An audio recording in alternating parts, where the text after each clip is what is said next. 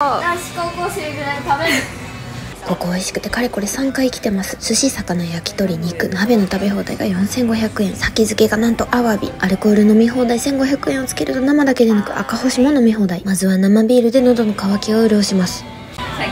ビール飲むために生まれてきたわ。